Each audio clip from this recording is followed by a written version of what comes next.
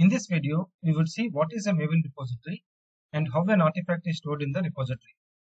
And also we will see what are the types of Maven repositories. Maven repository is a storage area in which the built artifacts, their dependencies and third-party libraries, etc. will be stored. So how the artifact is stored in the repository.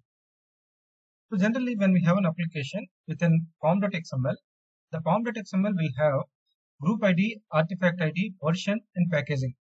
So when we build the artifact with that pom.xml, corresponding artifact will be stored in a location in the repository. So the location of the artifact will be the repository path slash the group ID directory slash artifact ID slash version slash artifact ID hyphen version dot package. So in addition to the package, it also stores the pom.xml of that artifact. So for example, we have an application with group ID, artifact ID and version. Then when we build this application, then corresponding artifact will be stored in the path like repository path slash. So the dots in the group ID will be replaced with slashes. Here it will be replaced like com slash my company slash app. And after group ID directory, then corresponding artifact ID directory will be there. So here we have my app directory. After that, it will be version.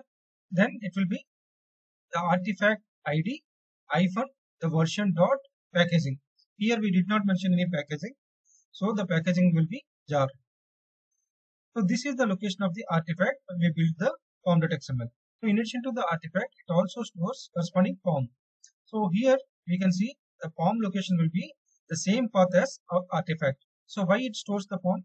So generally whenever we have another application and we declare the dependency of this application in another application, then in addition to this application, the application dependencies will also be downloaded and those will be available in the class path of the new application.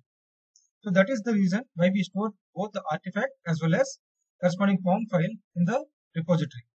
So what are the types of repositories we have? So we have a local repository and a remote repository. So local repository is a repository in the machine in which we execute Maven commands. So for example here, so we have a client one machine and client two machine. So in the client one machine, if I build an application with the pom.xml, first of all, it will search in the local repository if the dependencies are present.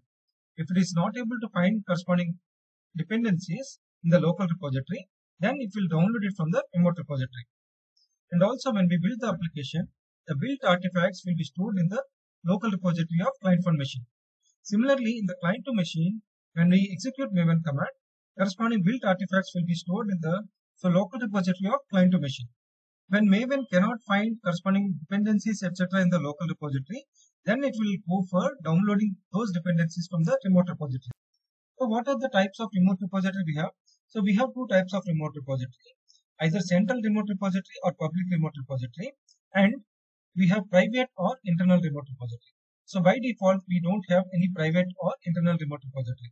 So we have public or external central remote repository. So whenever this client does not find the corresponding dependencies in the local repository, then it will try to download from the public or external central remote repository. But in every organization, we have to set up a private or internal remote repository because we have a lot of applications and each application will produce corresponding artifacts. So there should be a repository in our organization which stores these privately because we don't want to share these private artifacts external to our organization. So that is the reason we have this private or internal remote repository. In addition to that, when we have a private or internal remote repository, it will be easy for us to download from the internal network.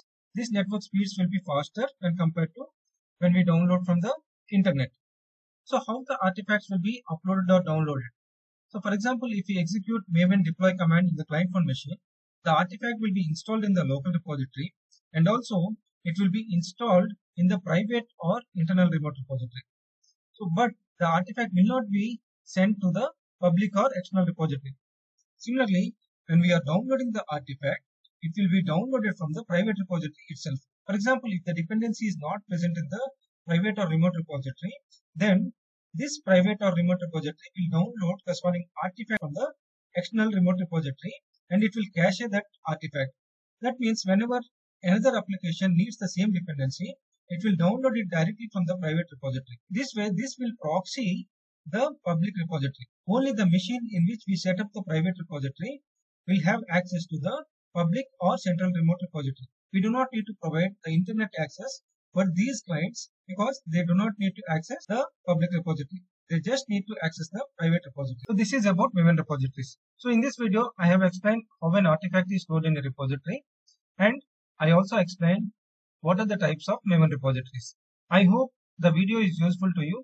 If you like the video, please like, share and subscribe. Thanks a lot for watching.